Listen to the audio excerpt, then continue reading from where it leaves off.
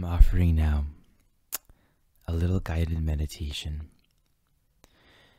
And the intention of this meditation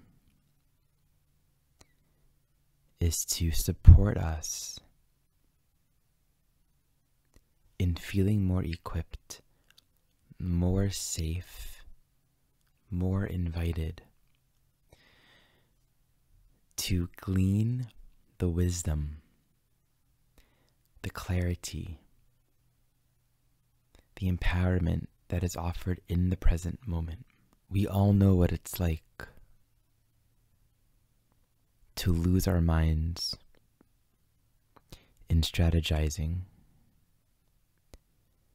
in looking into the past, into the future, all around, replaying events, anticipating experiences, negotiating possibilities, all because we fear that there's something happening. There's a relationship, there's an experience that is threatening. We see life often as antagonistic to our own wellness. And so we live in a defensive state.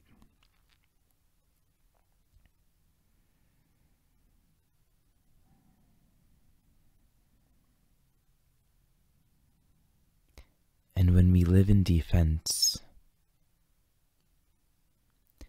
we never have the opportunity to abide and reap the deep sustenance and clarity that this present moment offers. It's as if, in all of our efforts to protect and to defend, that we're projecting this hologram, this illusion of reality, what things are and what it wants to do to us, the ways that life is out to get us. And we have no choice then but to respond in like, to become defensive. Otherwise, we'll lose. We'll be hurt. We'll be betrayed. We'll be abandoned. We'll lose our power. And there's that story that the most vulnerable and afraid places inside of us, the places that feel the most prone to being hurt, those are the very places where we will resist being with it. It's exactly where we will resist really settling into it, getting to know it, exploring ourselves there. Rather, those are the places where we become hard. That's where we strategize. That's where we fight this antagonistic life. And we don't realize it, but we're actually holding ourselves in place. We're keeping our hurt as hurt. We fix our reality and thus our relationships and our experiences to stay in this antagonistic perception. And people and life will show up predictably for us because we've decided how it is. And so we continue to stay hurt. And life continues to prove to us that we're hurt. And so we win. We are right. We're right. Life is unsafe. We are being hurt. We have to be defensive. We are being victimized. We're right. But at least we're right. And on the journey, as we all know as well, we grow not by being right, but by being in this moment. we decide that suffering but being right is less important than living now. Which seems crazy because living now means you might just be uncomfortable. Living now means it's not always pretty. Living now means it might not be what you prefer. But it's literally right now. And everything that's true blossoms from here. Like everything. So it becomes a choice for all of us. And we make this choice all the time. In the Course in Miracles, there's a teaching, a statement, or an invitation, which is I think it goes, I can choose peace instead.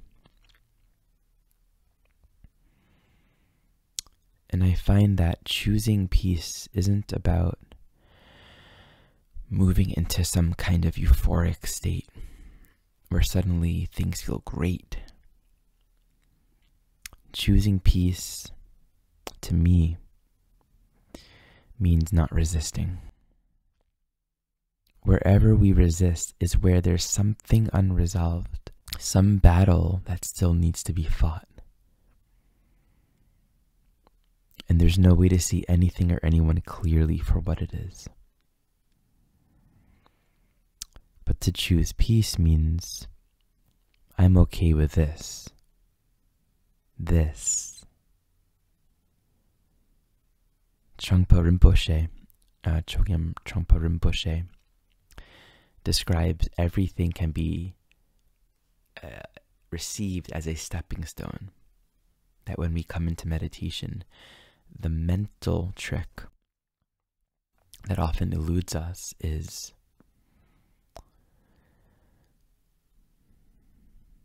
we will conceive of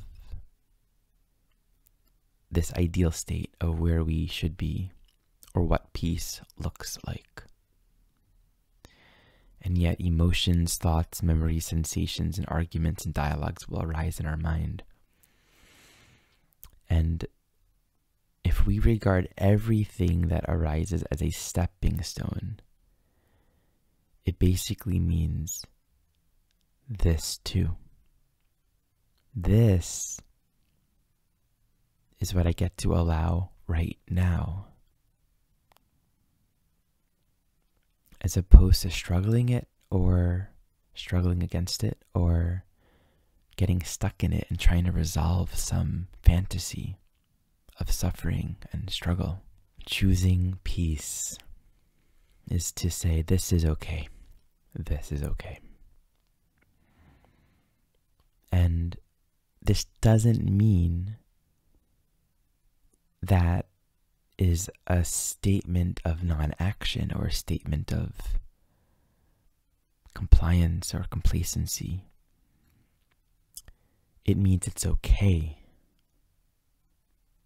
It means the foundation of our choices isn't to right a wrong, isn't to affect an outcome because before now things were bad and now they're good.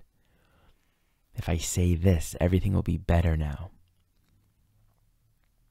We keep on attempting to do that, where we think that our actions, our choices, will bring us the peace that we're seeking. But it's kind of like getting our ducks all in a row. But then one of the ducks gets out of the row. So we put it back in then something else happens. So we fix it. Life is always going to be messy. There's always something that's arising. And if we direct our salvation towards knowing how to deal with it, like, I will say this thing. The next time this happens, I'll do this. This is what I got to do for this person in this relationship this is how I'm going to fix that, or this is how I'm going to treat my body, or this is the perfect diet. All the strategizing and basically holding ourselves in such a battle with life to accept that this too is okay means I don't need an answer. I don't need to make this a problem to solve. Rather, I can allow it to be wholly complete as it is. And in that sense, we're not even defining it. Everything becomes a curious mystery. What is this? You know, we feel sensations and emotions, but we quickly crystallize it and make it a thing. I feel this way around this person. There's a problem with that person, or I got to resolve a thing with that person, or I got to talk to this person about this issue. Suddenly, what we feel is linked to an object. We do this all the time. Everything that we are uncomfortable with is actually just an uh, objectless internal experience. But we direct it with our minds towards object. Then we say, in resolving our relationship to this object, time, place, person, thing, then I'll resolve these uncomfortable feelings. But this curious mystery, this curious beingness, it is such a faith, a beautiful faith, not a mystical, far out, incomprehensible faith. It's a faith that simply says, I am trusting this moment to just let it be. And who knows? That might bring an insight, a clarity, or a realization of, oh, yeah, I notice that it feels aligned. There's a calling, there's a sense of rightness in doing this thing and saying this to this person. We are guided into action. And I, I've been really saying this a lot lately. We're guided into action. Not because it's like, I gotta do this. It's a inner noticing of what wants to happen. And in a way, we can say then that our actions and what we do with our life from the stillness. It derives from a quiet place of noticing first and foremost, impersonally, what's wanted, what's true. We're not deciding if it's true. We're not deciding if that's what wants to happen. We're just noticing it.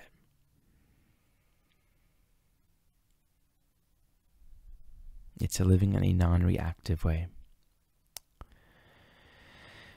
And so, using this as a stepping stone, very, very often we'll find there's actually nothing we need to do. Creation reflects this to us. You look at a flower, it's not like opening all the time, and then closing. It's like, should I open now? Like, when do I open? It just opens when it does, and it opens completely, and then it closes when it closes everything in the natural world, in a sense, is very present moment. It spontaneously acts. And so we create the space in our own lives to experience what it's like to be like the rest of reality, to live spontaneously, to live authentically. And if that means an individual is walking a path of planning and organizing things, then great. That's what their path wants to be. And it's a natural realization, right? Like awakeness, being awake to reality and to what the flow of life is, can lead us in all kinds of directions. It's only our conceptions of what it looks like that are just conceptions. I invite you now to join me. I'm going to sit silently with you for a few minutes. We'll sit together for five minutes. And to quote Adyashanti, he often says, Allow everything to be just as it is. Allow everything to be a stepping stone to what's now. And to notice as we allow, our body follows. Our belly relaxes. Our breath relaxes. Our jaw, our eyes, our musculature. We give permission for our whole being to drop its defenses.